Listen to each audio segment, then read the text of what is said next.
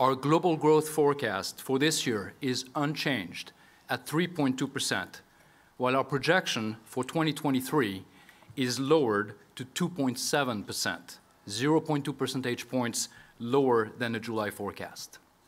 The 2023 slowdown will be broad-based, with countries accounting for a third of the global economy expected to contract this year or next.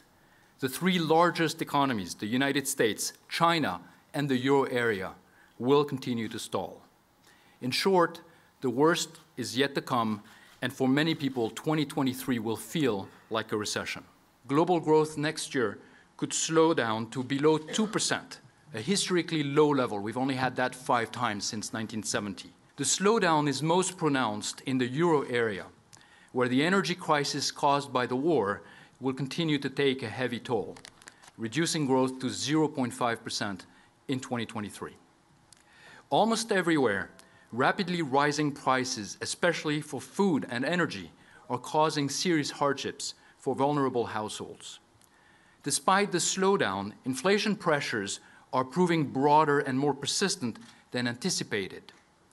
Global inflation is now expected to peak at 9.5% in the third quarter of 2022, before decelerating to 4.1% by 2024. Inflation is also broadening beyond food and energy. Global core inflation rose from an annualized monthly rate of 4.2% at the end of 2021 to 6.7% in July for the median country. Downside risks remain elevated, and policy trade-offs have become acutely challenging.